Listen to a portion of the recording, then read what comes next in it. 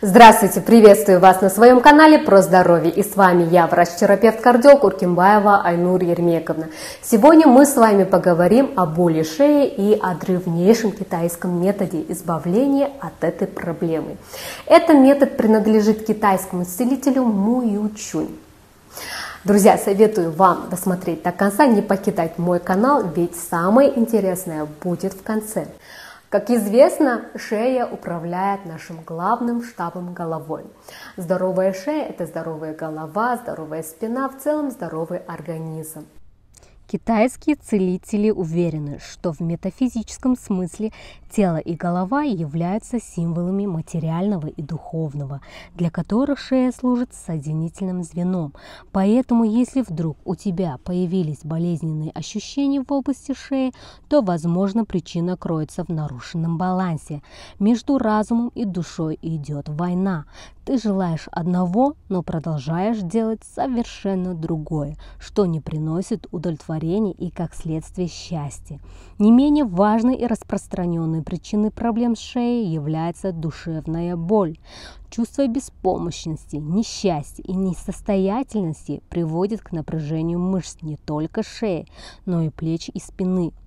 Шея как символ гибкости. Без шеи мы бы не могли поворачивать головой и смотреть в разные стороны. Ее гибкость зависит от здоровья шейных мышц и позвонков. Следовательно, если боль в шее вызвана внутренними проблемами и конфликтами, то она свидетельствует об отсутствии гибкости. Такие люди упрямы, иногда жестокие. У них низкий уровень адаптации, и они не способны принимать иные точки зрения. Существуют и другие причины появления спазмов и зажимов шейных мышц. Человек может сам не заметить, как запрещает себе смотреть туда, куда хочется или нравится. Так называемое самоограничение. Подавляемое желание образует энергетический блок, который в итоге переходит в мышечный зажим. Да, зачастую мы запрещаем себе что-то совершенно неосознанно. У многих из-за проблем в области шеи появляется шум в ушах, головокружение, головные боли, скачок давления, ком в горле – эти симптомы являются симптомами шейного остеохондроза или искривления шейного позвоночника, а эти проблемы появляются благодаря синдрому компьютерной шеи. Это большая проблема 21 века. Чем опасен синдром компьютерной шеи? Когда вы сидите за компьютером, читаете или смотрите в экран смартфона, ваша голова наклонена вперед, а шея при этом испытывает гигантский перегруз. Только представьте, голова человека весит примерно 5 килограмм килограмм. Именно такой вес держит шея при правильном положении. Если наклонить голову вперед всего на 15 градусов, то нагрузка на позвоночник возрастает до 12 килограмм, а при наклоне в 60 градусов до 27 килограмм. То есть пока вы листаете ленту в телефоне, нагрузка на шею такая же, как если бы на плечах сидел первоклассник. Получается, что если не следить за осанкой, то верхние отделы позвоночника деформируются. Во-первых, во-первых, это не совсем эстетично, во-вторых, влечет за собой целую вереницу проблем со здоровьем. В таких случаях вы можете обратиться сразу к невропатологу или терапевту, а они в свою очередь назначают курс лечения таблетками, назначают капельницы, а, упражнения поделать или массаж. И тут, что самое интересное, упражнения, которые мы делаем, по словам Муючун, они неправильные. А это какие упражнения? Эти упражнения движения головой вперед, назад, направо, налево и круговые движения головой, скручивание.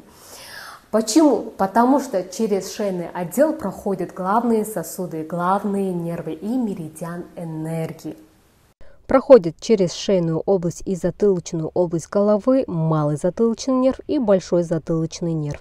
А сосуд – это общая сонная артерия, которая делится на внутреннюю и наружную сонную артерию. Кровь из сердца попадает в головной мозг только через эти артерии.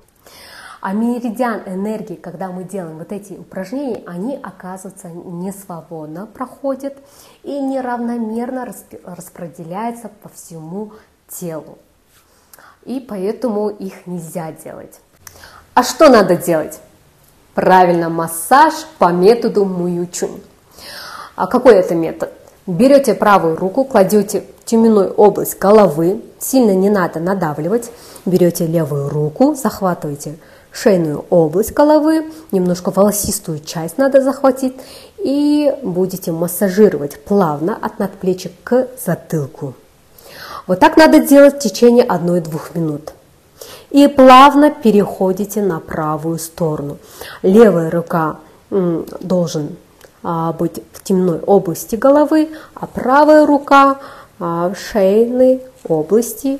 Немножко захватывайте волосистую часть также и двигаетесь от надплечья к затылку. И также делайте в течение 1-2 минуты.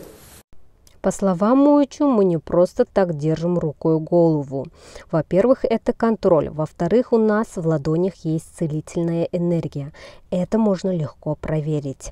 Когда вы ставите ладони в темную часть головы, вы сразу можете ощутить легкость и прилив энергии.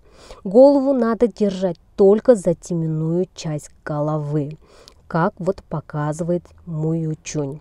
Одной рукой держите голову, другой рукой делайте массаж шеи. Так вы должны чередовать правую сторону и левую сторону. И а, после этого вы почувствуете сразу прилив энергии, уходит усталость и боль. Но этим не все. Есть второе упражнение. Вы обязательно должны делать второй массаж. Массаж вы делаете всего лишь одной точкой, и эта точка находится на внешней стороне кисти между большим и указательным пальцем. Тут есть небольшое углубление. Массируете эту точку в течение 1-2 минут. Эту точку еще называют точкой от 40 болезней. Массируя эту точку, вы избавитесь не только от боли в области шеи, но и от зубной боли тоже. Также массаж этой точки поможет вам укрепить иммунитет. А вот это массаж советует а, китайский целитель делать ежедневно, и вы получите супер эффект. Конечно, этот массаж подходит не всем. У кого есть а, стеноз сонных артерий, тем нельзя делать массаж шеи, потому что мы не знаем, а, э, чем закупорен, закупорен наша сонная артерия. Может быть там нефиксированный тромб. Если не фиксированный тромб, то э, он может полететь в головной мозг, и вы можете получить инсульт или инфаркт головного мозга. Друзья, я вам обязательно советую поделать эти массажи и поделиться своими ощущениями, результатами в комментариях. Я буду ждать.